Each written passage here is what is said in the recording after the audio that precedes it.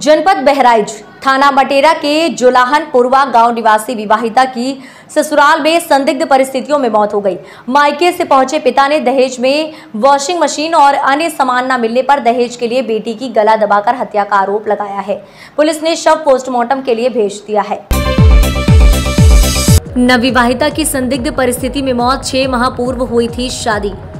मटीरा थाना क्षेत्र के ग्राम सिंगहा गाँव निवासी नियामत अली पुत्र शकूर अली ने थाने में तहरीर दी है। थाने में तहरीर देकर नियामत अली का कहना है कि उन्होंने अपनी बेटी सजीतू त्रिशा 20 वर्षीय का विवाह छह माह पूर्व थाना क्षेत्र के ग्राम जुलाहन पुरवा झाला कला गाँव निवासी रियाज अहमद पुत्र अयास के साथ किया था। नियामत का कहना है कि विवाह के समय हैसियत के मुताबिक दान दहेज दिया था।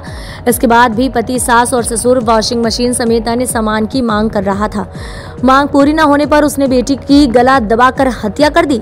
इसके बाद मौके से फरार हो गया। पड़ोसियों की सूचना पर बेटी के ससुराल पहुँचा तो शव घर में पड़ा मिला जिस पर पुलिस की को सूचना दी गई। प्रभारी निरीक्षक मनोज कुमार पुलिस बल के साथ मौके पर पहुँचे। प्रभारी निरीक्षक ने बताया कि शव को पोस्टमार्टम के लिए भेज दिया गया है।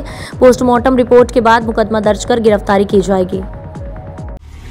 आपकी लड़की की संदिग्ध परिस्थितियों में मौत हुई है क्या कहना चाहेंगे?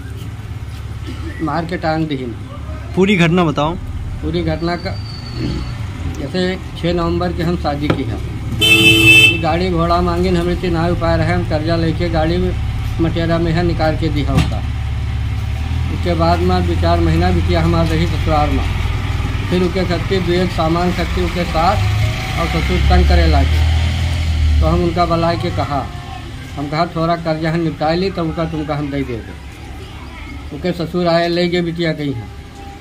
उसके बाद में बिटिया के हमरे मार के और टांग दी अतः तक तंग रहे सास ससुर कहाँ रहा था? सिंघा। थाना का लागत है? मटेरा। लड़की का परेशान को को करता है? सास और ससुर।